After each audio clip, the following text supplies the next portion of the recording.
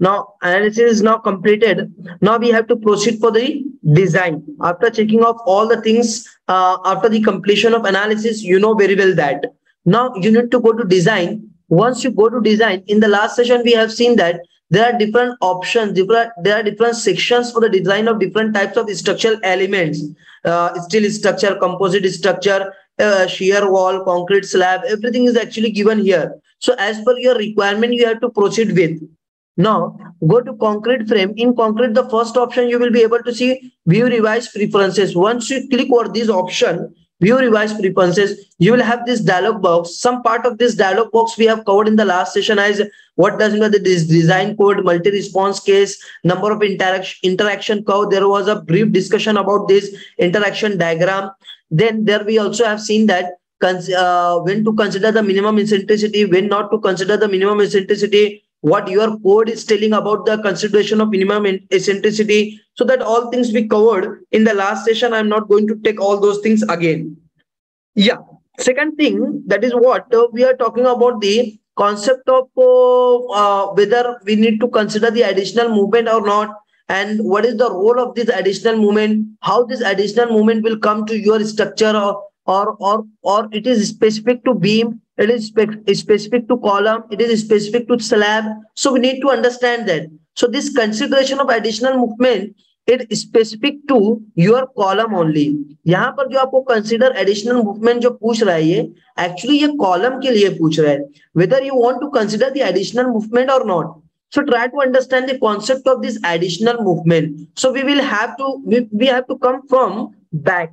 what is that? Try to understand. There are two types of the column one is your one is your short column another one is your long column when you look at the page number 41 here it is given very simple in a simple way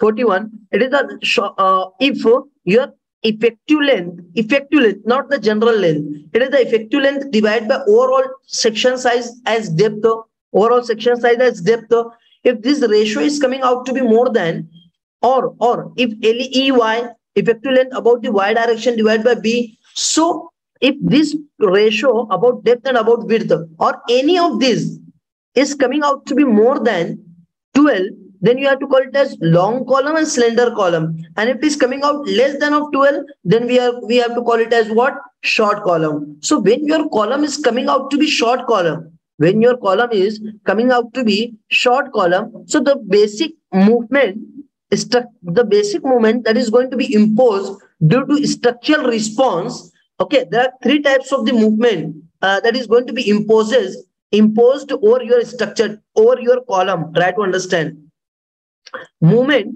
due to structural response आपके column के ऊपर तीन तरीके के movements आएँगे। What are those very first based on structural response first movement second movement due to eccentricity second movement will be what due to eccentricity and third movement will be due to what long and short column effect for short column no additional movement will be. But if your column is going to become long column if your column going to if your column is going to become a slender column in that situation additional movement is there. I am going to represent it by the ma so these three movement will be subjected to your column.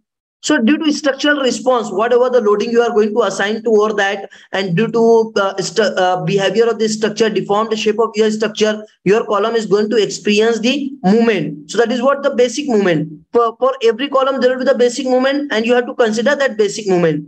This is what eccentricity due to minimum eccentricity consideration.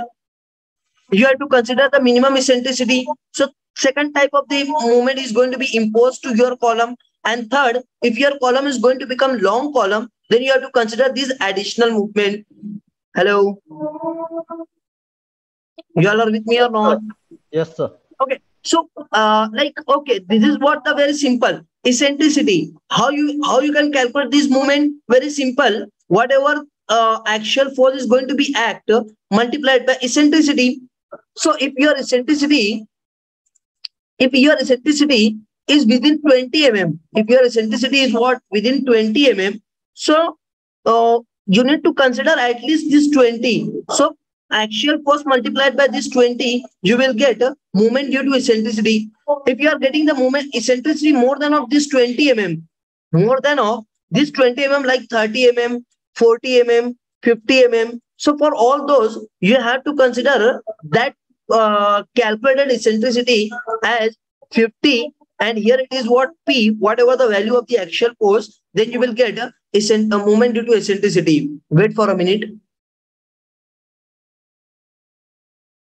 Welcome you all in ISO certified live training program ETABS RCDC and Excel that makes you a professional structural engineer. In this training program you will learn everything about ETABS and RCDC from basic to advanced, real life project of medium rise structure from architecture plan to final design sheet, real life project of high rise structure with all advanced topics, design of structural elements using advanced Excel sheets. Have a look over the features of this training. Daily live classes conducted by expert for one and a half hour. Recording of every session with lifetime access. Can interact with expert anytime 24 by 7. Exposure to real practice. ISO certification of training completion. It's 5 star rated training program. Till now more than 1000 participants have benefited from this training program. Now you are the next.